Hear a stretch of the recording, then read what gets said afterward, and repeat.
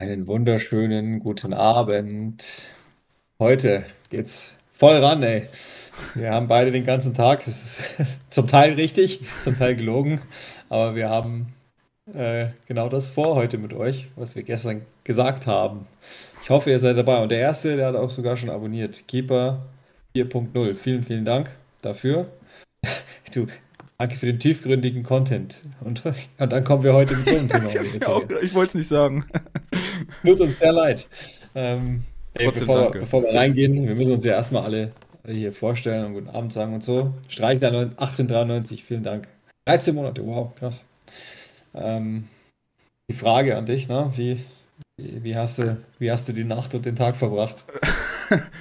ich habe es ja äh, vorhin schon mal kurz geschrieben, dass ich mir mit der Auswahl meiner Legendenelf in der oder Top 11 of all time in der Bundesliga sehr, sehr schwer getan habe und habe äh, neben all dem, was ich heute noch zu tun hatte, sehr, sehr viel Zeit, äh, wirklich, ich glaube, da sind wir beide gleich dummerweise da rein investiert, ähm, um da was aus Parkett zu zaubern. Äh, ich bin sogar meine alten Autogrammalben durchgegangen. Ähm, weil ich dachte, so ein bisschen Inspiration sammeln und äh, es hat viel Zeit für drauf gegangen, aber äh, ich hoffe, ich habe da was ganz Gutes zusammengebastelt. Ich denke, dir ging es da sehr ähnlich. Ja, ich äh, kann auch sein, dass ich dann im Stream noch umfalle. Ich kann, glaube ich, hier ein bisschen näher hinstellen. Das merke ich selber gerade. Ähm, ich, also, gerade auch bei den Lieblingsspielen, das ist, geht ja schon mal los. Wenn wir dann gleich noch machen, muss es ja irgendwie definieren. Also, wen, wen nimmst du da rein? Ist jemand, der dann ein halbes Jahr gespielt hat oder so drin? Oder sagst du halt, nee, muss schon wenigstens ein Jahr da geblieben sein? Bei, bei der besten Elf ist das ist natürlich auch eine gewisse Schwierigkeit. Äh, dass, dass man weiß ja nie, wer oder also ich kann einfach über die 60er nicht so dozieren wie über die 90er und auch ehrlicherweise über die 90er nicht so wie logischerweise bei den 2010er, 20er Jahren. Ähm, aber das können wir dann gleich nochmal einzeln machen, wenn es dann soweit ist. Und es wird auch Streitfälle geben, das ist ja klar. Da bin ich mir auch äh, sehr, sehr sicher. Ich habe mir super, super, super schwer getan. Äh, bin aber auch tatsächlich auf deine persönliche Elf äh, mal gespannt, wen du da ah, so. Da, da, bin ich auch gespannt, weil, also, das, das, da gibt es natürlich ein paar Disclaimer, die ich setzen muss. Und inzwischen bin ich, auch das ist natürlich Teil der Wahrheit, inzwischen bin ich halt teilweise biased, weil ich halt den einen oder anderen kennengelernt habe, den ich natürlich wahnsinnig gern mag oder mit dem ich tolle Dinge verbracht habe und so, ne? Ähm, und ich bin auch, also heute, das ist wahrscheinlich das, das geilste Chat-Thema ever. Ja. Weil da werden Namen reinfliegen zur jeweiligen Position, wo ich mit einiger Wahrscheinlichkeit denken muss oder werde, ah ja, stimmt. also, das ist, ähm, und es gibt auch, also gerade bei dieser, bei dieser Lieblingself, äh, es gibt halt so Namen, die fand ich, für die hatte ich immer so einen Softspot, aber die kann ich da jetzt nicht ernsthaft reintun, ja. zum Beispiel. Und ähm, ja, ich, da bin ich echt auch gespannt, was dabei rumkommt. Yes, ich auch. Äh, wir können ja schon mal ganz kurz sagen, dass äh, wir uns dafür entschieden haben, heute, äh, einfach weil es schon 50 Millionen Mal durchgekaut wurde und es jetzt auch schon ein paar Tage zurückliegt, dass wir ähm, die Nachbesprechung vom BVB gegen Dortmund äh, rauslassen. Wer da vielleicht nochmal eine ein wenig äh, intensivere Analyse haben möchte, da ähm, würde ich euch einladen, einfach mal beim Rasenfunk reinzuhören. Dann kriegt ihr zumindest einen von Ronde und zwar meine Wenigkeit äh, aufs Ohr, weil ich heute Morgen bei äh, Max zu Gast war und über den Bundesligaspieltag gesprochen habe. Max sei der Content, äh, der, der, der Traffic so gegönnt, ja. weil es ein guter Mann ist. Ähm, das ist eh was, was, was man, wenn man sich für Fußball interessiert, Podcasts gerne hört, dann ist es, glaube ich, eh was, was man hören sollte. Ja, das äh, würde ich genauso unterschreiben und deswegen gibt es heute volle Dröhnung Nostalgie, hoffentlich, äh, zu, äh, zur Bundesliga. Äh, wir haben ja gestern schon die, die Premier League gemacht. Äh, spontanerweise, ehrlicherweise auch. Es war gar nicht so geplant und äh, da ist er, da seid ihr ja auf die auf die gute Idee gekommen, dass wir sowas mal öfter einbauen können und haben uns dann gedacht, komm, war Topspiel am Samstag, wir machen es heute für die Bundesliga nochmal und äh, Uli, sag du gerne, wie wir da, wie wir da reinstarten. Ja, ich bin selber gleich total gespannt. Also wir haben ja gesagt, wir machen zweimal jeweils eine Top 11, systemfrei gewählt. Und ähm, es gibt einmal die, die beste Elf ever also bis hierhin, das, wir wissen ja nicht, was jemals passieren wird, ne, aber bis hierhin die beste Elf und dann nochmal unsere Lieblingself, wo es jetzt nicht zwingend was zu tun haben muss mit, mit Qualitäten, sondern eher, äh, also wahrscheinlich irgendwie auch zum Teil, da bin ich dann jeweils auf die Argumentation auch gespannt, aber äh, eher Gusto sozusagen. Und ähm, dann kann man ja sich nochmal an das eine oder andere erinnern. Und ich, wir brauchen aber, also insbesondere auch bei den Besten, zum Beispiel brauchen wir halt, glaube ich, geisteskrass krank eure Hilfe. Ja. Weil es einfach gar nicht, also sonst, sonst wird es halt nicht gehen. Und, und auch da, also das ist halt die Frage, die ich mir gestellt habe, wenn, wenn du dir das so anschaust und, und überlegst, ähm, wie es halt zu sein hat bei der, bei der allerbesten Elf.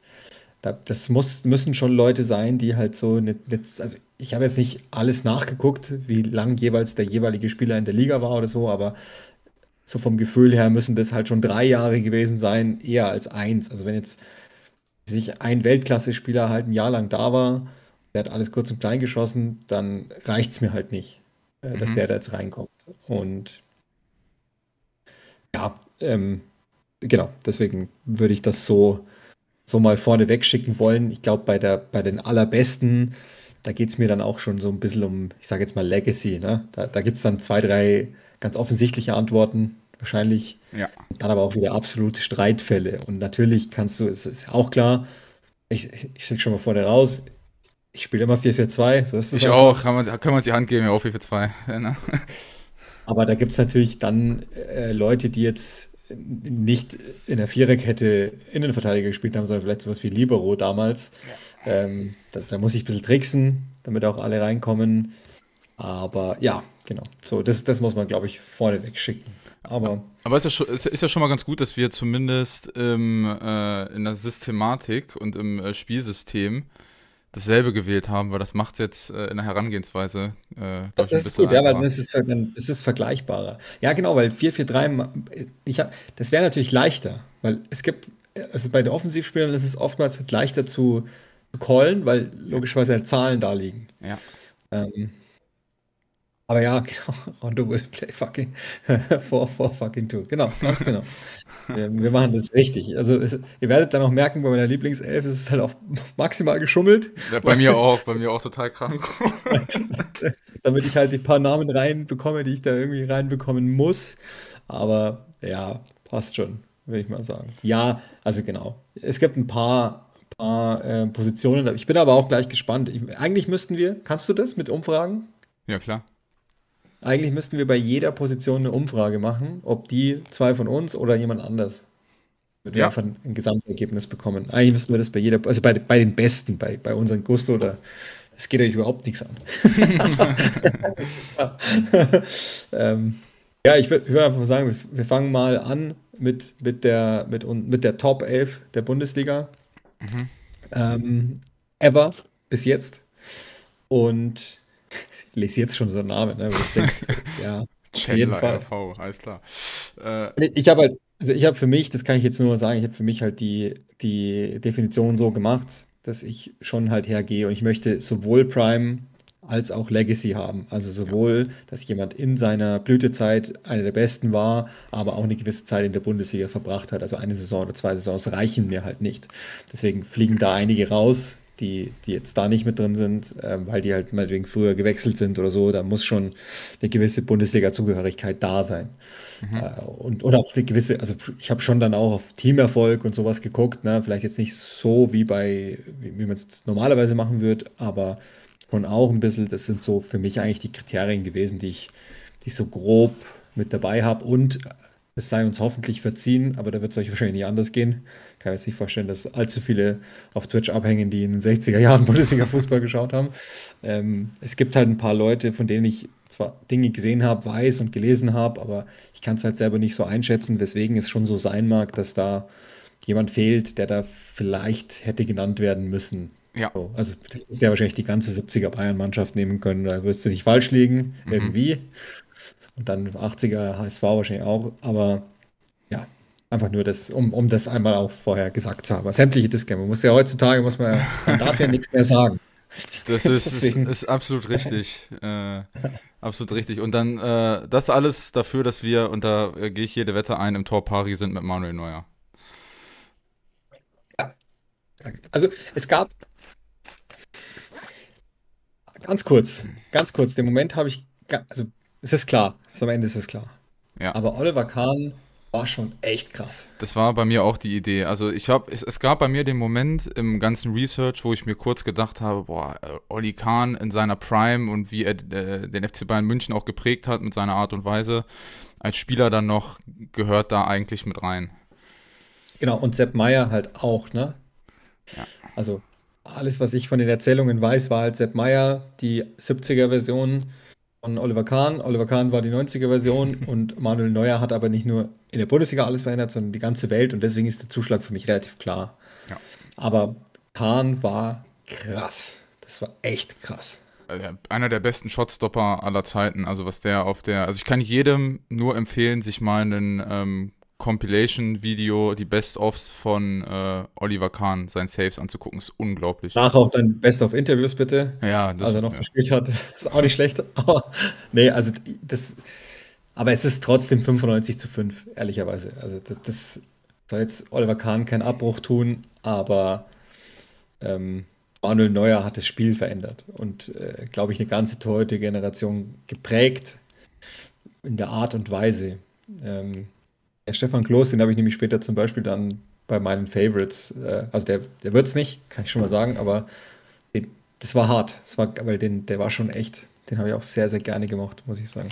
Ja, aber ich, ich finde trotz alledem an, also du kommst wahrscheinlich, selbst wenn du über den besten Keeper aller Zeiten sprichst, nicht an Manuel Neuer vorbei. Und deswegen äh, eine Legende der Bundesliga, hat noch nie im Ausland gespielt, hat alles gewonnen, äh, was es zu gewinnen gibt, hat das Torwartspiel neu definiert und das ist Bei Dekaden, ne, also das, auf dem Niveau zu spielen, das ist einfach special. Das ist so. Glaubst du, Oli Kahn könnte es in der, im heutigen Fußball genauso wie äh, damals? Ja, das, das macht das macht's ja immer so schwierig, die, die verschiedenen Zeiten miteinander zu vergleichen, weil ein, also der, kann, der konnte kein Fußball spielen, gar nicht. Aber in, wenn der heute kommen würde, dann würde der das natürlich auch lernen müssen. Mhm. Und ähm, deswegen, also mein Neuer ist ja noch dazu talentiert, insofern ist es klar, aber ähm, ja, ich, also, wahrscheinlich besser, aber auch nicht gut. Weil dazu war der einfach zu krass, der eine Torhüter-Typ. Ja, das stimmt. Jetzt wird hier im Chat geschrieben, der Gea hat auch eine Zeit lang geschafft. Das stimmt schon. Ähm, er kann ja auch gar nichts mit dem Ball.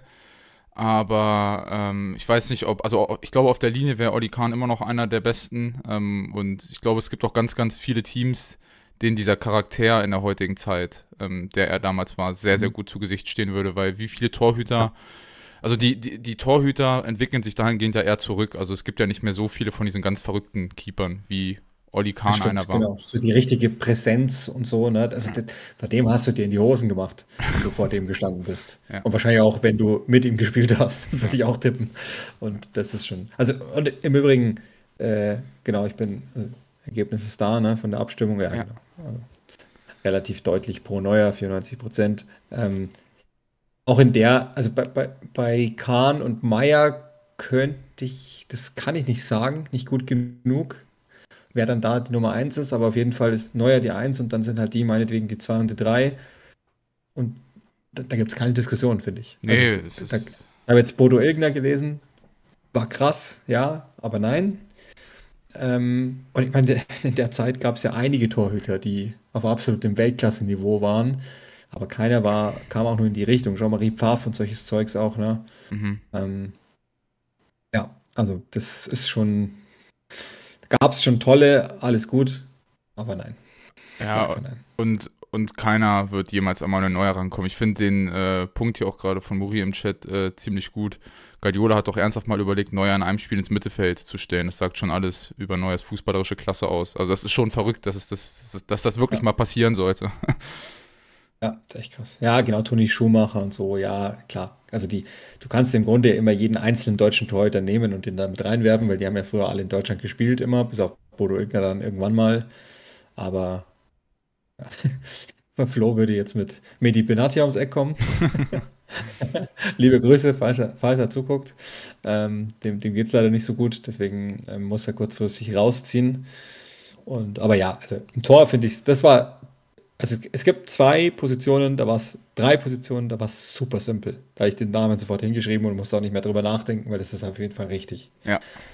Der eine davon war Torhüter. Ja, und die andere war, können wir eine, wenn wir eine Reihe weiter nach vorne gehen, war für mich die Rechtsverteidigerposition mindestens genauso easy, tatsächlich. Ja, es, also Innenverteidiger dann auch. War das so Aber- ein, da habe ich, mich, da hab ich mir voll Ja. schwer getan. Ist es so, echt? Aber genau. Also, dann fangen wir mal von rechts an, weil da haben wir auch den gleichen Namen stehen mit einiger Sicherheit, das ist Philipp Lahm, ne? Ja, äh, besser, für, für mich persönlich, äh, bester Rechtsverteidiger aller Zeiten, Mr. Fehlerfrei. Äh, ich habe noch nie jemanden gesehen, der auf dieser Position so lange auf diesem Top-Level gespielt hat. Das ist unglaublich. Also ich, ich finde es auch, ähm, hätte man theoretisch auch sogar einen Fall aufmachen können für links. Habe ich mir auch kurz überlegt, ja. weil links ist es nicht gar nicht, ist es nicht so leicht. Deswegen habe ich fast überlegt, Ähm. Dreierkette zu spielen, weil ich links so schwer fand. Ja, es ist links ist es nicht so leicht, am Ende ist es dann aber auch relativ klar irgendwie. Ähm, aber ich, also ich wüsste nicht, selbst wenn ich jetzt sagen würde, also es gibt ja, wir haben ja gestern mal die, die, die besten äh, Spieler aller Zeiten vorgelesen, die, die von der Bundesliga selbst kamen. Mhm. Wenn ich, wenn ich da jetzt reinschaue, es gibt noch nicht mal eine Honorable Mention, die in der Nähe wäre. Also der, der, der am nächsten gekommen wäre, wäre bei mir wahrscheinlich Lukas Piszczek in absoluter Topform, der dahinter gewesen wäre, Ja, den ich noch spielen sehen habe. ja. Lisa Razou war links natürlich, deswegen geht es nicht. Ähm, ja, Piszczek, ja. Ich meine, es gab schon ein paar ordentliche Spieler, so ist es jetzt nicht, die man, die man da nennen könnte, aber äh, nee, das ist eigentlich Philipp Lahm, relativ, relativ Das, wenn, du mich nach einer Top 11 aller Zeiten aus allen Ligen fragst, würde ich dir rechts auch mit Philipp, also gehe ich rechts auch mit Philipp Lahm. Oder hast Ist du, so? ha- hast du eine, hast du einen im Kopf, der besser ist? Oder besser war als er?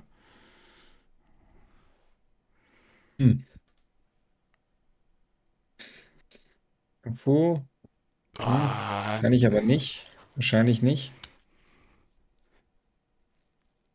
Billy Sagnol ist ein guter Call. Der, das kann man schon, das, der kommt, also der wäre für, für Moment für mich Dani Alves auf jeden Fall. Dani Alves kommt rein, ja, Daniel. weil auch ja. stilprägend. Da muss man, da muss man echt drüber reden.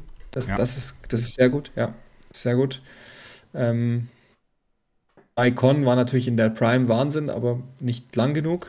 Mhm.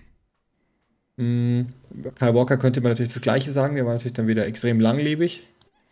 Das stimmt. Also Kyle Walker würde, ist für mich auch in dieser Diskussion, der würde, glaube ich, nie genannt werden da, aber der gehörte auch schon mit rein. Aber für mich ist immer, also ich würde trotzdem immer noch mit Philipp Lahm gehen, tatsächlich. Sanetti?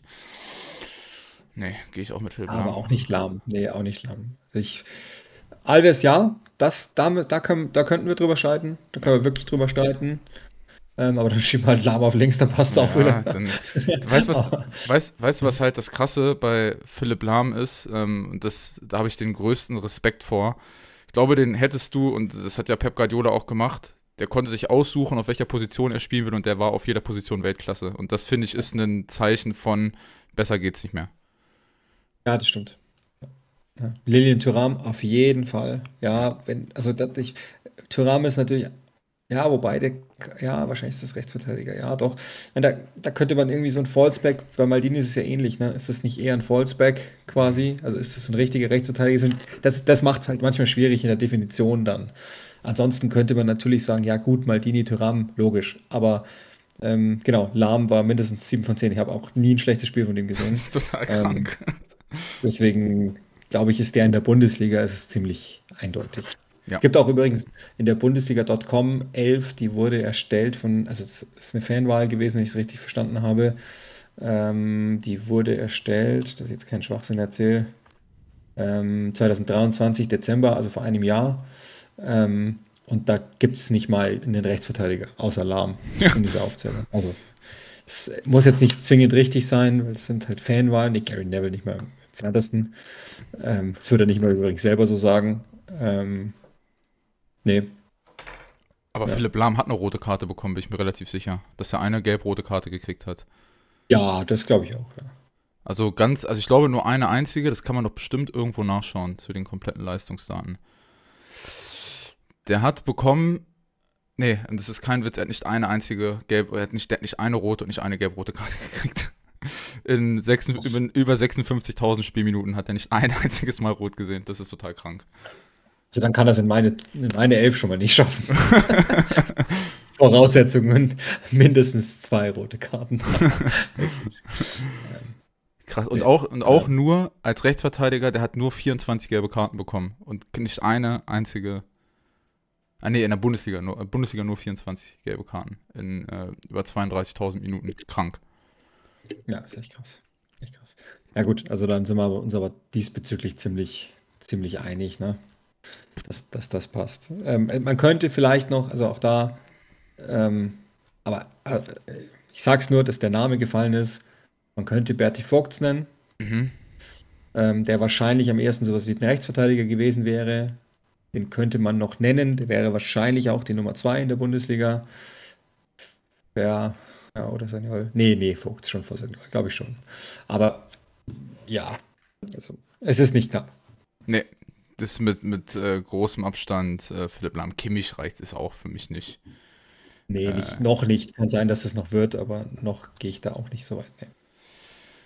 Ja, und dann können wir, würde ich sagen, kommen wir zur Innenverteidigung, weil da bin ich super gespannt. Das ist also, wenn es für dich so easy war, dann bin ich, also ich bin extrem gespannt, wen du da hast. Also, das ist jetzt, das ist natürlich der, der Fall jetzt. Ähm, ich spreche jetzt von einem Libero oder ich werde zwei Liberos noch nennen im Verlaufe äh, dieser elf jetzt hier ähm, die, die da reinkommen. Der eine Libero ist Franz Beckenbauer, der musste natürlich selbstverständlich ja, ja. rein.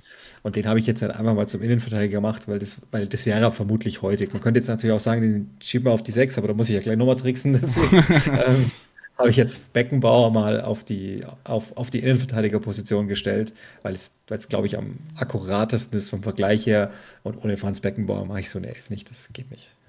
Ja, ich äh, gehe mit. Ich habe äh, auch tatsächlich äh, Franz Beckenbauer, ähm, auch aufgrund einfach dem, was er hinterlassen hat. Ne? Also äh, ich glaube auch, dass das in der heutigen Zeit auch als Sechser gut funktionieren würde. Ähm, aber der muss bei mir auch in die Innenverteidigung, weil dieses Spiel einfach so maßgeblich geprägt und verändert hat, ähm, dass da kein Weg dran vorbeiführt. Aber ich bin auf deine Nummer zwei total gespannt, tatsächlich, neben Beckenbauer, weil der war irgendwie so ja, obvious. Da gibt es jetzt, da gibt's jetzt ähm, sechs bis zehn, die, die, richtig, die richtig sind, finde ich. Also ähm, ich sag's gleich, ich gehe am Ende mit.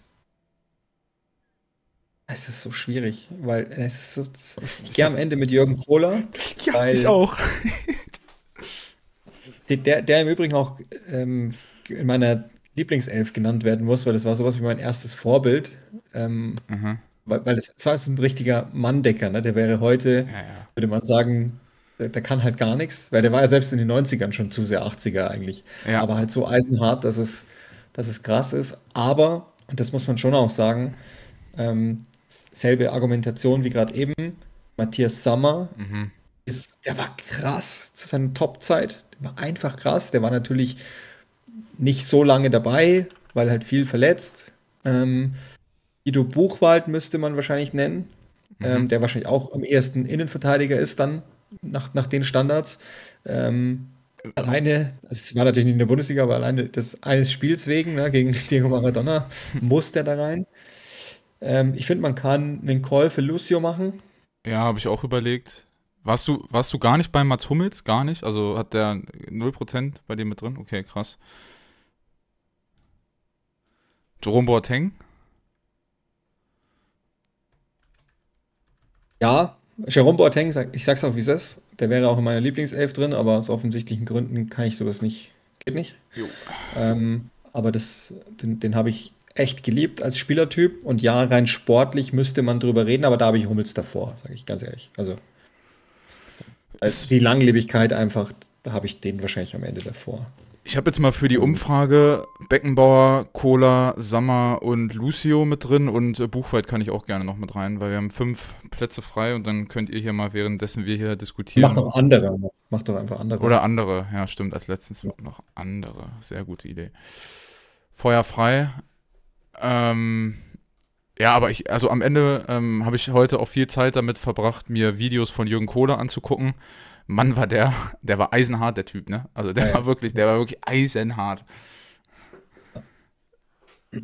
Also das ist auch, ja, also. Beckenbauer ist, ist, glaube relativ klar, ne? Lucio, ja, Lucio zu Recht auch. Ähm, ja, weil auch so one of a kind, ne? Also, wann gab es mal so einen Spieler wie oder einen Innenverteidiger wie Lucio ja, in meine, auch da kannst du natürlich sowas wie einen Schwarzenbeck oder so Zeugs, ne? Auch da müssen wir jetzt diskutieren, ist der nicht eher Sechser und so, solche Sachen, da 70er und da wird es auch sicherlich gute Leute gegeben haben. Möchte ich jetzt nicht in Abrede stellen.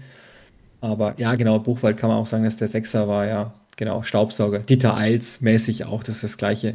Äh, Klaus Augenthaler, Libero, ja, der müsst, den muss man wahrscheinlich auch irgendwie nennen. Ähm, hm. Nee, also Nee, aber also ich bin mit meiner Cola, Wahl Cola, zufrieden. Cola und Endeffekt auch, es war ja zur damaligen Zeit was wert.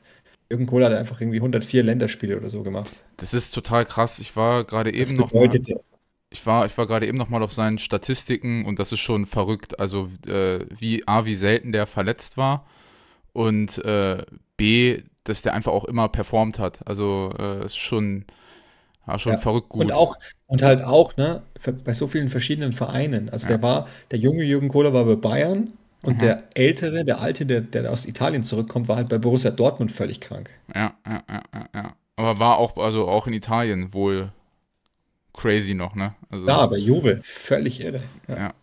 Und hast du, hast du einen, ähm, weil ich jetzt hier zum Beispiel Per Mertesacker lese, gibt es den irgendwo in deiner, in irgendeiner Welt? Ja, nee, also nicht, also das ist jetzt das ist einer der Fälle, ne, wo ich dann irgendwie in meiner persönlichen Elf nicht zu biased sein darf.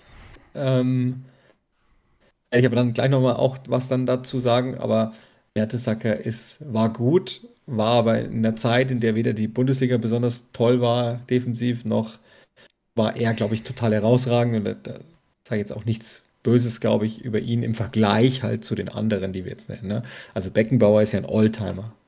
Das, das Jürgen Kohler ist wahrscheinlich unter den Vorstoppern weltweit auch ein Oldtimer. gehe ich mit. Das Krasse ist, äh, wenn ich mir jetzt die Abstimmung anschaue, dann gewinnt Beckenbauer äh, sehr klar mit 57 Prozent. Dahinter kommt dann schon Lucio, Sammer, dann kommen andere und äh, ganze zwei Stimmen kriegt dann Jürgen Kohler. Also ähm, Was? Und wir zwei oder was? ja, das sind nur wir zwei Idioten, die äh, den mit reingenommen haben. Aber ich weiß es nicht, vom, Also Lucio und Sammer stimmt auch. Finde find ich auch okay. Könnte ich auch voll mitleben. Lucio halt auch, muss man ja auch fairerweise sagen, der ist ja bis heute, sagen dir Menschen, wenn, wenn du fragst, welcher Typ Innenverteidiger ist es, und der dribbelt zum Beispiel an und schaltet sich manchmal in die Offensive mit ein. Ähm, also quasi der Vorläufer zu John Stones, der ins Mittelfeld geht, nur halt das dann bis zum Schluss durchzieht, dann sagen die, ja, so einer wie Lucio. Sagt ja, ja auch was aus. ja, ja, Und halt auch ja. physisch unglaublich stark. Ähm, Deswegen stimmt das und Matthias Sammer war natürlich, wenn der gesund war in seiner Prime, unglaublich gut. Ja, ja, ja. Flo, Flo schreibt, also äh, Flo ist übrigens im Chat, ne, falls ihr äh, Flo's Meinung lesen wollt, das ist hier 21-Duffy, der hier euch äh, die Expertise aus dem Krankenbett noch oder seine, seine Expertise aus dem Krankenbett hier noch mitgeben will. äh, ja, also äh, äh, äh. Was, was, jetzt hat er irgendwas an, jetzt hat Flo hier irgendwas angeheftet. Kohler und Beckenbauer auf die IV, dann kann Sammer mit Matthäus ZM spielen. Ja, Ja, da schauen wir mal. wunderbar. Ist doch gut. Ist doch gut. Schauen wir mal. da völlig, Flo ist ein guter Mann. Guter Mann. Und Ja, wo, der ist, der ist, der ist der älteste von allen, der muss es wissen. Ja. ist gekauft, Flo, ist gekauft. Wollen wir nochmal über den Linksverteidiger sprechen dann? Oder hast du noch irgendwas für den Ja, da, Verteidiger? da, da ist es, also Linksverteidiger ist auf den ersten Blick sackschwierig, finde ich. Ja, ja. Auf den zweiten Blick dann irgendwie doch nicht so. Aber da habe ich ein paar Namen, die in so einer Elf eigentlich nichts verloren haben, ohne jetzt das Böse meinen zu wollen. Aber wir reden ja, das sind, bislang sind es ja absolute Elite-Spieler, ne, die in, Ja. in, in, in ihrer Prime in dem FIFA-Rating 91 oder mehr gehabt hätten. Mhm. Und beim Linksverteidiger fällt es zum ersten Mal ab. Mich. Ja, bin ich dabei. Also, ähm, ich habe ich hab. In den letzten Wochen war ich eigentlich überragend. Das ist das geilste Interview aller Zeiten. Warum hat Jürgen Klinsmann sie nicht mitgenommen? Das weiß ich auch nicht. In den letzten Wochen war ich eigentlich überragend. So geil. aber- für mich, für mich das, für mich das geilste Interview of all time hat Olli Kahn mal geliefert, als er gefragt wurde, ob er am Gegentor schuld war. Ich weiß nicht, ob du dich noch an das Interview, ob er den Fehler gemacht hat und den Reporter einfach auslacht. Und ich? Ich, wo war ich unsicher? Ja, bei dem und dem Tor. ist mir scheißegal. das ist so geil. Ja. Das ist so geil. Ja, ja, ja. Aber äh, wie gesagt, Linksverteidiger habe ich mir auch äh, sehr schwer getan. Also für mich gab es tatsächlich nur zwei, also in meinem Kopf gab es nur zwei Spieler, die diese Position hätten bekleiden können. Und ich habe mich entschieden, also die, die Wahl ist gefallen zwischen äh, entweder David Alaba oder ähm, Lisa Razou. Das waren die beiden, die ich da auf, auf der Liste hatte. Dann sind wir zum ersten Mal nicht dabei. Ich habe Andi Breme. Ach krass, okay, ja, da ist es. Nee, ich, ich bin am Ende mit David Alaba gegangen, tatsächlich. Also auch da, ähm, weil ich jetzt ein paar Mal Paul Breitner genannt habe, den muss man wahrscheinlich auch nennen als Rechtsverteidiger. Das ist ein Wingback, ganz klassisch. Der könnte, glaube ich, in der Viererkette nicht wirklich funktionieren. Was aber bitter ist, ähm, ist er so klar, das ist, das ist der Typ, von dem ich sagen würde, der ist, ähm, was die Prime betrifft, wahrscheinlich der stärkste, den wir da hatten. Mhm. Aber die zweite Bayern-Amtszeit, der war einfach schon nicht mehr so gut. Ähm, und in der ersten hätte ich dann Breme besser gehabt. Alaba, nee, den habe ich nicht, Breme. Also da würde ich irgendwie lieber, wenn, dann würde ich schon lieber einen Case machen wollen für Bernhard Dietz war der Linksverteidiger, ist das so? Da kenne ich mich zu wenig aus tatsächlich. Berti Fuchs haben wir gerade schon gesagt, würde, wenn dann Rechtsverteidiger sein, der hätte eine, eine Honorable Mention gehabt für, für Rechtsverteidiger, vielleicht sogar unsere Nummer zwei. Ähm, nee, aber da würde ich mit Bremen gehen, tatsächlich. Ich gehe einfach deshalb mit David Alaba, weil das wahrscheinlich, ähm, wir haben ja vorhin auch über Langlebigkeit gesprochen, ich meine, er war ein paar Jahre in der Bundesliga, ähm, von der Persönlichkeit her und äh, diese linke Seite mit ihm und Franck Ribéry, das war das, glaube ich, das Beste, was ich in der Bundesliga jemals gesehen habe von, ähm, von einem Linksverteidiger. Ja. Ähm, und äh, ja. Ich habe ich hab auch ehrlich überlegt, aber also es ist auch eine andere Liga. Christian Ziege war in den 90ern eine Zeit lang mal ziemlich krass bei den Bayern, aber halt auch nur eineinhalb Jahre, da war er verletzt oder so. Ähm, der hatte eine Zeit, also ich glaube, der hätte jemand sein können. DD, genau, den mhm. habe ich auch noch da stehen, aber halt auch mit einigem Abstand. Ähm, muss, muss ich halt auch fairerweise sagen. Langlebigkeit ja, Welt, Welt, Weltklasse nicht. Deswegen hat er es dann am Ende nicht geschafft, aber den hatte ich da auch stehen. Das ist schon auch, das war auch jemand, wo ich mir gedacht habe, der, der ist dann auch bei meiner, bei meiner persönlichen Elf so, ne? Der war einfach geil. Mhm. Kann man einfach nichts sagen. Ähm, ja, nee, aber also, also ja. ja. Also es war da, da, also mit der Position, weil das ist halt, äh, da hast du einen Punkt, da war es halt schwieriger als bei den anderen Positionen, weil du da nicht das, also es ist unfair zu sagen, nicht das allerhöchste Top-Level im Vergleich zu den anderen hast, aber ich finde, die Position fällt dann doch schon sehr ab, tatsächlich. Ähm, also ja, Marcel Schmelzer kann da bei mir auch nicht mit rein. Also es geht, der nee, ist, nee, nee. Nee, nee, genau. Christian Panda hätte mal einer werden können. Jede Position bis auf Torwart gespielt. Die meisten als Linksverteidiger. Okay, dann müsste man Bernhard Dietz mit Sicherheit reinnehmen. Ja, das stimmt. Allein aus Langlebigkeitsgründen, äh, Europameisterschaft, bla bla. Ja, müsste man dann sicher so machen. Wenn das so ist, dann da kann ich dann zu wenig. Das, das ist, da, da ist es jetzt einfach so, da fällt es jetzt genau rein das kann ich nicht genügend beurteilen. Das gleiche ist im Übrigen bei Hans-Peter Briegel zum Beispiel. Das mhm. kann ich nicht genügend beurteilen, um es richtig sagen zu können. Ähm, deswegen würde da, für, ich meine, Andi Breme ist halt auch so. Andi Breme ist halt Weltklasse, geht zu Inter, ist absolute Elite, ist einer der besten Spieler der Welt, um die 90, also so zwischen 80 und 90 Jahreswenden, kommt dann zurück und ist selbst halt als alter Spieler noch saugut bei Kaiserslautern, ne? Ja. Ja. Deswegen. Ähm, war, nicht, war, war nicht Andi Bremer auch derjenige, der äh, kurz bevor er verstarb, diese äh, Geburtstagsglückwünsche verkauft hat im Internet und seine Frau im Hintergrund? ja, ja, genau. Das ist, ja, das wollte ich doch gerade sagen. Und Andi, Andi Brehme, also ist auch einer von denen, da gibt es so ein geiles äh, YouTube, wo er über Köche spricht und Essen. Da wird er irgendwie zugefragt und dann sagt er, äh, absolut vor Respekt vor die Köche und das, was sie können. also völlig, da, da gibt es ein paar richtig geile Schnipsel von dem. wo er Interviews gibt. Das ist total witzig. Ja. Ähm, die, die Abstimmung hat übrigens auch David Alaba gewonnen tatsächlich, aber ich glaube, dass es auch viel so biased ist, ne, weil der einfach, weil man den gesehen hat über die, also war es bei mir auch, kann aber äh, deinen Spot schon, äh, also dass du den an Andi Breme äh, vergibst, kann ich absolut nachvollziehen. Ich würde einmal deine Viererkette von äh, links nach rechts einmal vorlesen, also du gehst links mit Andi Breme, äh, hast in ja. der Innenverteidigung äh, Beckenbauer und Jürgen Kohler und rechts ähm, Philipp Lahm. Äh, bei, nur bei der Linksverteidigerposition sind wir nicht gleich, da habe ich David Alaba noch davor. Ähm, aber ansonsten war das eine relativ klare Kiste und äh, ich glaube, dass ich sonst auch, also wenn es bei mir nicht Alaba gewesen wäre, wäre es bei, also Lisa Razou kommt dem schon in seiner Prime sehr, sehr nahe, was ich mir ja. für einen Linksverteidiger das vorstelle. Das stimmt schon, ja, genau. Und äh, also wir, weil ich das gerade lese, mir ist schon klar, Paul Breitner war Wahnsinn, ne? Ähm, das ist genau das Gleiche. Alleine, dass ich, also wenn dann Rechtsverteidiger, und da würde ich aber sagen, Lahm war noch krasser als, als Breitner. Ja, ja. Ähm, und da, dann könnte man aber auch da dazu kommen, dass man den, wenn man jetzt sagt, okay, Viererkette Rechtsverteidiger, Paul Breitner, gut, kann ich mit leben, dann ist der halt auf der 2, dann kriegt er halt den ersten Platz als, als Ersatz. Ich glaube, damit kann man gut leben. Witzigerweise ist er tatsächlich, ist Paul Breitner äh, genannt bei Transfermarkt als reiner Linksverteidiger oder Zehner. Also das ist immer ganz verrückt. Also, also, wenn, Breitner, wenn Breitner Linksverteidiger ist, dann sage ich, Scheiß auf Breme, nehme ich Paul Breitner.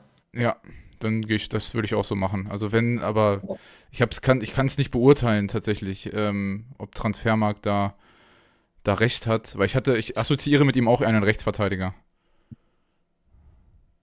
hätte ich, habe ich irgendwie so im Kopf, aber who knows.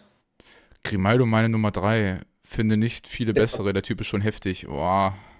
Nee. Das, das, das, wäre ja qua Definition einfach schon gar nicht möglich, weil mehr als eine Saison hätte ich schon gern. Ja, das stimmt. Also das, da kommt jetzt keiner in der Bundesliga Top, Top 11. Außer wir würden wiederum sagen, egal wie lange er da war, Hauptsache er war da, aber dann nehme ich da jetzt Juri Jokev mit rein und dann ist ja der ganze Käse vorbei. Am Hintern. Das macht, ja. das macht ja keinen Sinn. Das macht ja, ja keinen Sinn. Ja.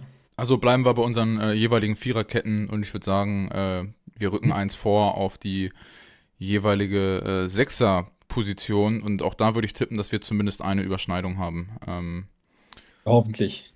Also ohne Lothar geht gar oh, nichts. Ohne ne? Lothar Matthäus mache ich es nicht. Ohne, äh, ohne den geht es einfach nicht. Ähm, gibt gibt eine Welt, in der ich sage, Lothar Matthäus ist der beste deutsche Fußballer aller Zeiten. Ähm, weil er so krass war. Ja. Ja. ja. Also, ich. Ich, würde ich nicht widersprechen. Das, das Kranke ist ja, dass ich mir von dem, habe ich ja auch nie spielen sehen, aber wenn ich meinen Opa zum Beispiel frage, wer der beste deutsche Fußballer war, den er jemals gesehen hat, antwortet er mir 10 von 10 Mal Lothar Matthäus und dann äh, habe ich mir häufiger einfach mal Videos von dem angeschaut Alter Schwede, der Typ hätte heute einen Marktwert, ich glaube, den, kann, den könntest du ohne Probleme heute reinwerfen und der hätte einen Marktwert von 180 Millionen noch. Und kein Witz, ne? Der ist inzwischen über 60. Ich habe letzten Sommer, nee, Sommer, doch, Sommer 23, habe ich gegen den gespielt. Und wie, war es schlimm? Das ist total albern. Er ist mit 60, der läuft bei 42 Grad im Schatten. Ja zieht der volle Kanne 60 Minuten am Stück durch, ne? Und ist immer noch, kannst dir vorstellen, sowas verlernt man ja nicht, der Touch. Das ist total irre. Das ist krass, ne? Das ist, also der Typ, der hat doch auch mit, hat er nicht auch bei irgendeinem Landesligisten mal ein Spiel oder so einen Oberligisten nochmal mit äh, Mitte, Ende 50 ein Spiel gemacht? Also total krass und war da einfach äh, immer noch der beste Mann auf dem Platz. Ey, wusste, der, hat, der hat damals, der kam ja nochmal zurück zur WM 2-2 mit 42 oder sowas, ne? ja. Und war halt jetzt nicht das Problem damals. Nee. Also echt, alter Schwede.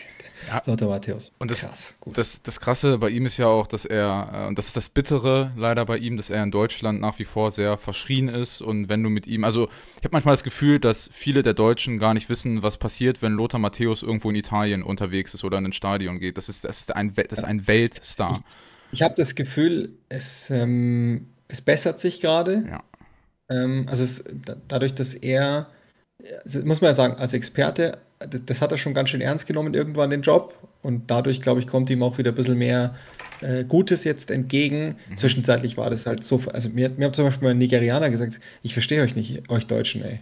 Bei uns kann JJ Okocha machen, was er will. Es ist mhm. scheißegal, mhm. was der tut. das ist einfach eine Legende und ihr lacht über Lothar Matthäus. Was gibt es da zu lachen?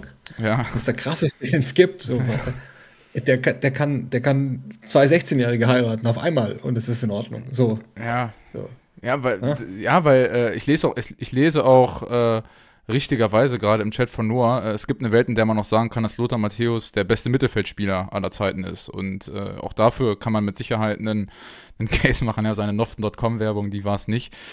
Ähm, aber als, als Spieler, also wenn ihr, wenn ihr fragt, was seine Stärken waren, sag ich euch ganz ehrlich alles. Der konnte alles. Und zwar alles auf einem geisteskranken Top-Level. Ja, ja, der war wirklich, war echt gut. Es, also da führt kein Weg dran vorbei. Der hat einfach, der hat fast, der hat 785 Spiele gemacht, der hat fast 70.000 Minuten Profifußball gespielt. Das ist einfach heftig. Also es ist einfach echt heftig. Und ja. Äh, ja, also verrückt, verrückt, verrückt. Und muss da rein. Ich bin jetzt mal gespannt, wen du im äh, 4-4-2 daneben hast.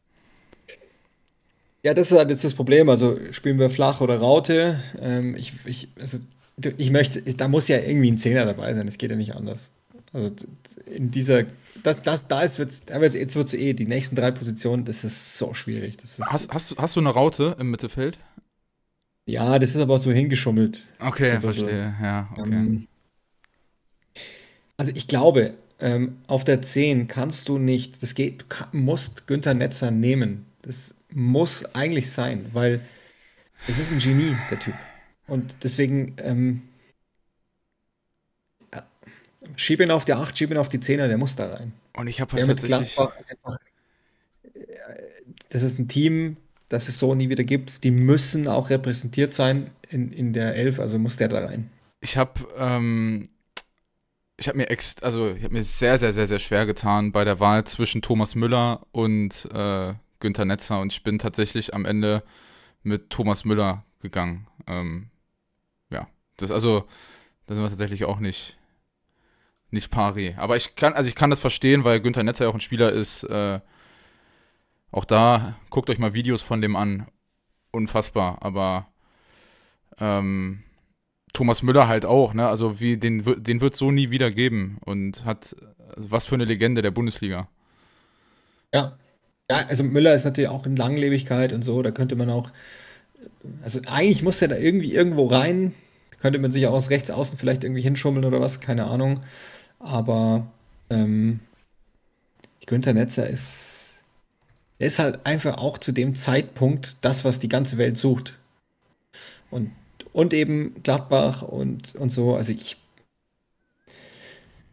Nee, der, also der, Netzer muss da schon rein. Der muss da schon rein. Ja, ich. Äh, naja, ich, da, da muss ich, ich, ich muss echt mit Thomas Müller gehen, weil ich den, wenn ich mal alleine schaue, was der für für Scorer hatte in der Bundesliga, Thomas Müller. Immer so ausgesehen hat, als ob er überhaupt keinen Fußball spielen kann. Aber am Ende jetzt mit, äh, wie alt ist er mittlerweile, Thomas Müller? Thomas Müller ist 35. Wenn ich jetzt auf seine kompletten Leistungsdaten gehe, dann spielt er, seit wann ist der in der Bundesliga? Ich glaube, seit, wie viel die Saison von ihm ist das bei Bayern? Hast du das auf dem Schirm? Nee, wahrscheinlich nicht, ne? 14, 15, irgend sowas bestimmt. Warum sehe ich denn jetzt hier nicht seine kompletten Leistungs... zu allen detaillierten Leistungsdaten? So. Äh, alle Spielzeiten, Anzeigen hat Thomas Müller erzielt. Warum habe ich mir das vorhin nicht rausgeschrieben? Da ärgere ich mich ein bisschen drüber. Es gibt jetzt Live-Recherche. Äh, hat. Hä? Warum wird mir das bei Transfermarkt nicht angezeigt? Genau. Müsste sowas wie. Klinsmann wollte den damals ja zu Hoffenheim ja. verleihen, glaube ich, ne? Ja, wollte, äh, also sollte bei Bayern, glaube ich, ich weiß gar nicht, wer ihn bei Bayern am Ende gehalten hat. Was? Äh, ich glaube, er wollte nicht, wenn ich das richtig noch, noch habe. Ah, doch, hier ähm, steht's. Warte mal, Leistung pro Verein. Thomas Müller hat in äh, 725 Spielen für die, für die A-Mannschaft bei Bayern 245 Tore und 271 Vorlagen gemacht. Also das ist total krank. Er spielt seit 2008 in der ersten Mannschaft. Ja, ja ist, schon, ist schon krass. Das ist schon das ist schon krass. Ähm, ja, ich verstehe das, dass, dass der da rein muss. Ähm, ich verstehe das total. Ich meine, in der Achterposition wäre es halt krass geschummelt, wenn wir 4-3-3 ja, ja. spielen würden. Dann, das habe ich mir überlegt, dann schummel ich den auf die rechte Seite halt. Mhm. Dann passt es auch. Dann, da kann ich irgendwie mit leben. Sag ich halt, er hat irgendwann mal eine Zeit lang da gespielt. Ähm, ja, aber nee, Günther Netzer, das ist für mich schon in Ordnung. Habt, äh, ich lese hier so ein paar Namen, äh, Diego, der kommt da nicht mal in die Nähe von, also der darf. Also nein, nein, also Diego war, war Wahnsinn. Ja. Van der Vaart war Wahnsinn in seiner Prime. Marco aber Reus. Wir reden, wir reden da, nein, also wir reden da über Günther Netzer. Das ist ein ja. Real Madrid-Level-Talent damals gewesen, ne? Ja, das stimmt. Also. Wolfgang Overath, auch, der, der steht da auch zurecht, von dem ich auch einfach weniger weiß, aber die haben sich ja, glaube ich, nicht viel genommen. Der eine hat dem anderen die, die Klinke in die Hand gegeben. Wenn, müsste man wahrscheinlich Bernd Schuster nennen auch noch, ne? Ja. der auch einfach ein Weltklasse-Zehner war damals. Kevin aber Keegan halt beim HSV. Genau, aber da stimmt. Ähm, ist halt aber, der kommt natürlich zu einer Zeit, wo er schon, und das hat auch nicht so gut funktioniert. Ja. Ähm, deswegen reicht es mir nicht, wie, wie lange der da war. Das wäre natürlich so jemand gewesen, den man jetzt vom, vom Gesamtresümee, aber da müsste man auch Raoul da reinnehmen, aber ja.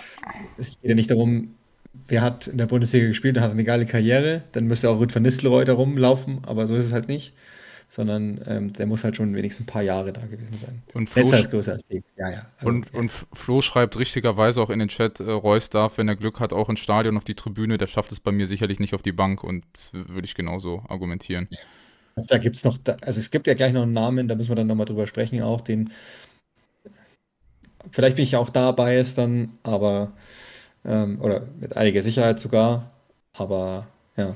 Das Ding ist, wenn ich, wenn ich mit einer Doppel-6 gespielt hätte, dann wäre bei mir ähm, Basti Schweinsteiger auch äh, ein Name, den ich da mit reingeworfen hätte. Boah, doch.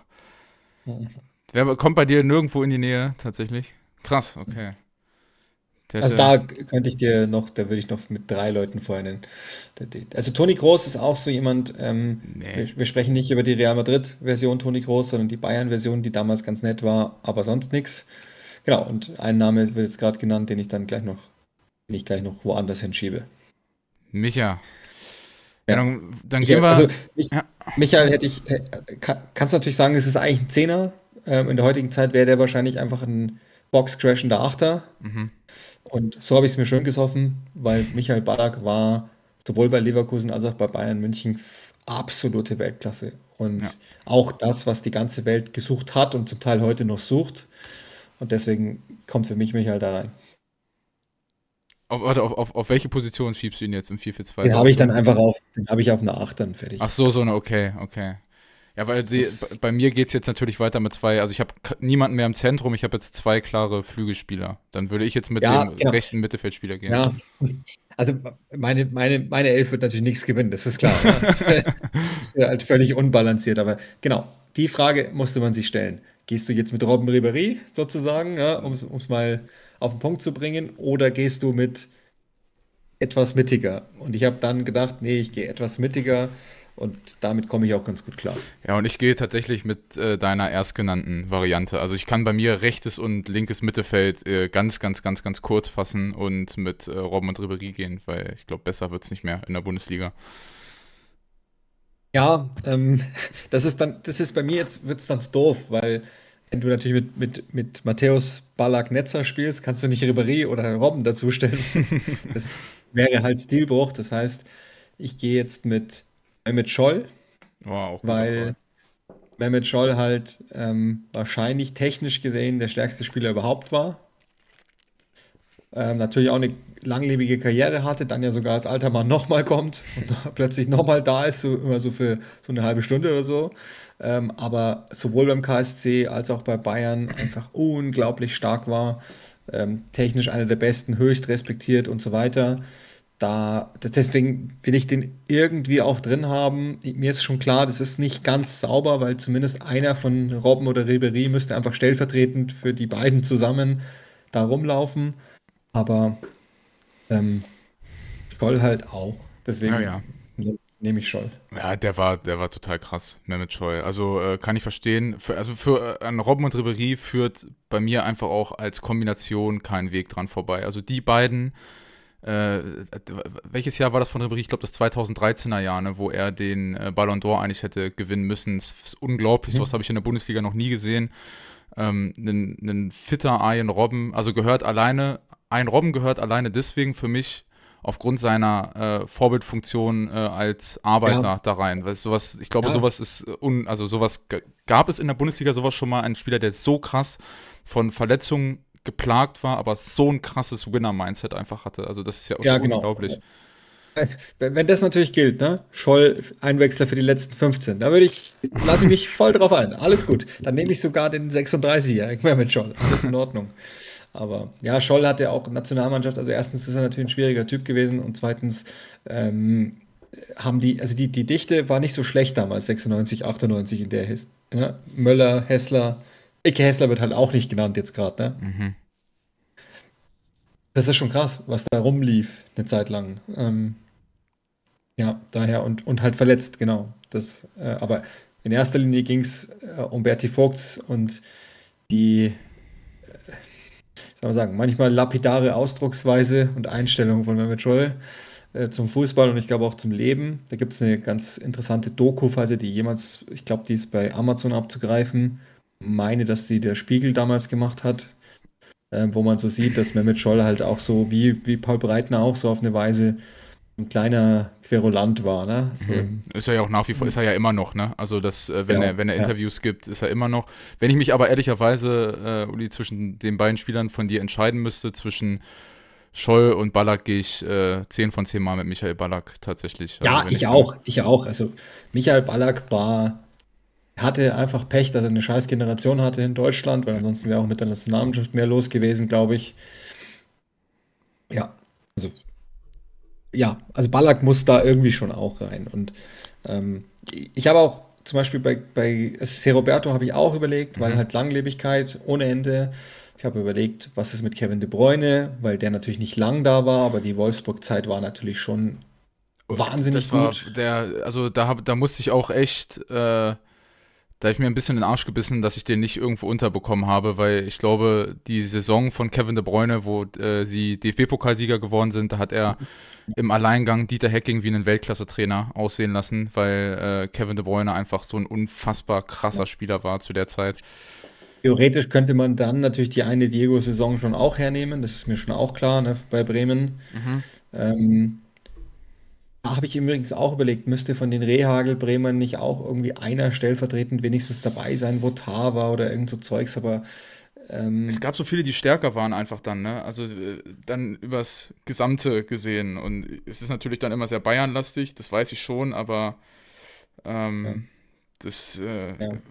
schwierig, da jemanden mit, äh, mit reinzubekommen. Als Honorable Mention gerne, aber nicht in ja, meine Startelf.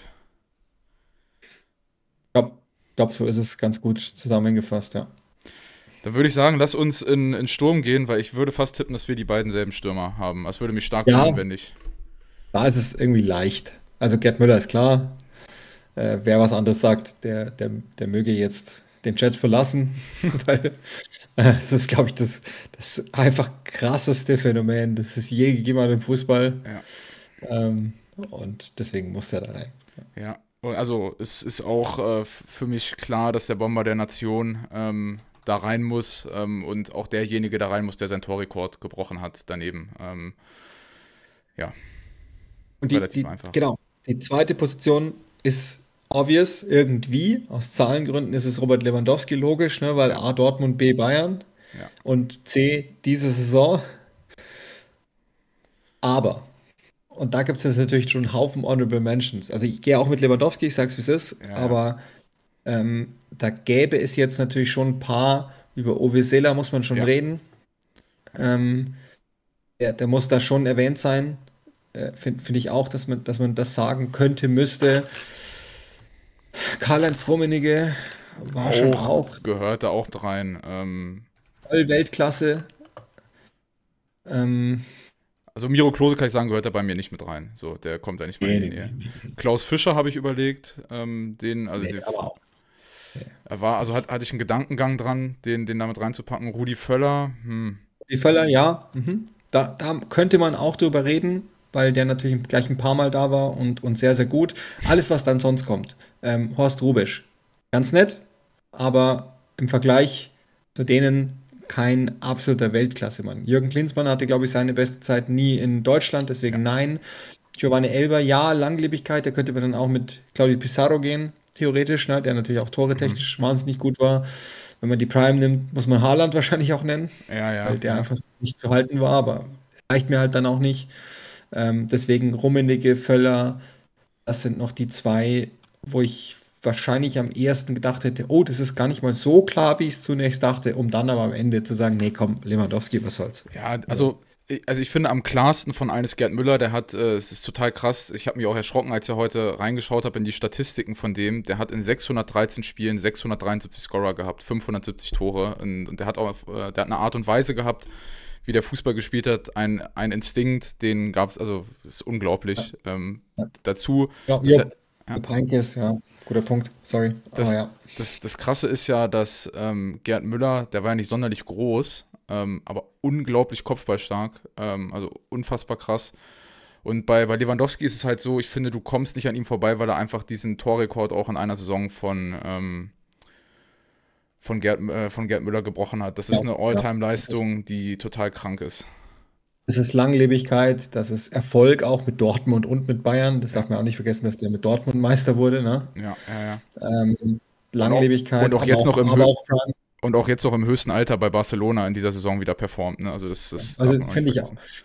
Genau, aber so, solche Namen wie, also die jetzt dann schon auch fallen zum Teil, ne? Ähm, auch, äh, also Jupp Heinkes, ähm, Karle Riedle auch, ähm, kann man schon auch so nennen. Der war schon auch in seiner absoluten Prime saugut, keine Frage. Aber kommt halt alles nicht in die Nähe. Also wir reden ja jetzt von Zweien, die äh, quasi FIFA-Stärke 93 haben oder so, ne? Ja, ja, klar. Und das, oh, das ist, das ist aber auch, das ist ein geiler Punkt gerade von Freddy aus dem Chat. Bin gespannt, was man in 10 bis 15 Jahren würde, äh, in 10 bis 15 Jahren sagen würde, wenn Würz und Musialas Karrieren weit fortgeschritten sind, weil ich glaube, dass wir die irgendwann mal da nennen werden. Ja, gut, gut möglich, dass das so ist. Ähm, sehr, sehr gut möglich sogar. Hängt natürlich auch immer, hängt ja bei allen davon ab. Wäre Lewandowski nach drei Jahren Dortmund zu Juventus gewechselt oder was mhm. weiß ich, oder gleich zu Barcelona, dann würden wir so nicht reden. Das ist ja klar. Ähm, und deswegen stecken da natürlich auch sehr, sehr viele. Ulf Kirsten, auch ein guter Punkt, der natürlich aber leveltechnisch einfach nicht so drauf war. Aber deswegen gibt es natürlich ein paar, die hier nicht reinkommen. Wenn De Bruyne geblieben wäre oder wenn der, hat uns übrigens Michael Reschke auf dem Sportbild Award mal erzählt. Ähm, er war kurz vor den Bayern, ne? Damals. Ich, glaub, auch, ich glaube, dass Dortmund auch relativ weit war damals mit dem, dass äh, Jürgen Klopp den unbedingt haben wollte. Ich weiß gar nicht, ob vor oder ähm, nach Wolfsburg. Ähm, aber wenn stell mal vor, der wäre in der Bundesliga geblieben, Kevin De Bruyne. Das wäre. Also krass. Er, er, er, hätte, er hätte es machen wollen. Mhm. Ähm, er wollte zu Bayern, nicht zu City. Aber das war den Bayern damals zu viel Geld. Und ähm, wenn, also what if? Er wäre geblieben, dann schreiben wir den da rein und sind alle glücklich, weil so wäre es halt auf jeden Fall gekommen. Ja, bin ich, bin ich dabei. Hast du dir Gedanken über einen Trainer gemacht oder hast du, oder hast du einen Trainer, der das oh, Ganze, Trainer. der das Ganze macht? Ja, ähm, oh, da gibt es zwei, glaube ich, die man nennen muss. Odo Lattek und Ottmar Hitzfeld. Einer von beiden macht's. Bei mir ist, äh, ich habe mich tatsächlich äh, für den dritten im Bunde entschieden. Ich äh, gehe mit Jupp Heinkes tatsächlich ähm, als, als Trainer, Mentor. Ähm. Otto Rehagel. Boah. Otto Rehagel, boah, weil der hat halt auch als gar nichts einen Europapokalsieger und deutschen Meister gemacht. Ne? Also ist ja, das ist ja überhaupt kein Material, was er da hatte. Ja, ja, es ist, ja, ja. Dennis Weißweiler hat natürlich Fußball spielen lassen, wie Sau. Hitzfeld war aber schon auch krass. Ich meine, der, der einfach Champions League-Sieger mit Dortmund und Bayern. Ich war, ich war auch zwischen, äh, ich war zwischen Hitzfeld und Heinkes. Ähm, ja, aber genau, aber gutes Argument, Reagel wird Meister mit Kaiserslautern, ja, gutes Argument. Ja. Also wenn, oh, wenn, wenn, wenn, wir nach, wenn wir nach dem besten Trainer aller Zeiten gehen, der in der Bundesliga war, dann musst du Pep Guardiola eigentlich nehmen, aber der war halt eben nicht lange da. Also die, das ist, das kann ich für mich sagen, die Guardiola Bayern waren die beste Mannschaft, die ich jemals in der Bundesliga gesehen habe, aber dafür reicht mir einfach die ähm, Amtszeit von Guardiola bei den Bayern nicht. Ja, aber ich mein, eigentlich ist Udo Lattek, der wird halt, der macht halt drei Jahre in Folge alles weg. Mhm. Eigentlich muss es Udo Lattek sein. Eigentlich. Also ich, ich bin zufrieden tatsächlich mit meinem Jupp Heynckes Call, weil der auch mit, also was, was der mit Bayern gemacht hat und äh, also ich glaube, die einzige nicht erfolgreiche Amtszeit hatte er bei Schalke, ne? Jupp Heynckes. Nee, auch in Leverkusen war es auch so lala, würde ich sagen. Und davor hatte die Bayern auch schon mal versaut. Mhm. Ähm, also der war, der kam eigentlich damals in die, in seine letzte Bundesliga-Phase zurück mit, vergiss den mal, das ist nicht so besonders. Ach krass. Das Ah, nee, der. Peter- Der kommt dann für die letzte, der kommt dann für die letzte Viertelstunde. Ja. Ja, Frankfurt, genau, Jupp Heynckes, das war auch nichts äh, mit, mit diesem Jahrhundertkader da. Ähm, nee, also Heynckes würde ich sogar, dem würde ich gar nicht gehen, wenn ich. Ja, ist schon, ist schon richtig. Ich bin da auch wahrscheinlich sehr biased wegen, wegen den, ähm, ich bin da sehr biased wahrscheinlich wegen seiner Bayern-Mannschaft, die er Guardiola überlassen hat. Ähm, aber ja, kann man, kann man so argumentieren und dann ist es wahrscheinlich dann auch eher Ottmar Hitzfeld sogar, ja. Ja, das ist schon, ihr schreibt gerade richtig rein. Hitzfeld hat mit Bayern und Dortmund die CL gewonnen, plus siebenmal deutscher Meister. Ähm, ja, Mic Drop. Ist, Gut, aber, aber Udo Lattek hat es ja dreimal in Folge gewonnen. ne? ja, Also ist auch nicht schlecht. Franz Beckenbauer könnte man auch nennen. Der halt einfach, immer wenn er da war, hat es irgendwie funktioniert, ganz kurz bei den Bayern. So ist auch Mhm. irgendwie. Ja, gut. Das, Franz Beckenbauer ist halt einfach auch, kann einfach auch alles. Deswegen ist es egal. Ja, aber komm, wollen wir, wollen wir uns auf Ottmar Hitzfeld einigen? Oder gehst du mit Udo Lattek? Ja, du sagst, du sagst jetzt fällt ich Lattek, dann sind beide genannt. Yes, das finde ich gut. Möchte Christoph Daum nochmal erwähnen, auch wenn es nicht ganz für die erste Elf reicht. Ja, gerne. Ja, Honorable Gerne. Mention nehme ich den gerne mit rein. Ähm, und ich würde sagen, das war unsere äh, Top 11 of all time.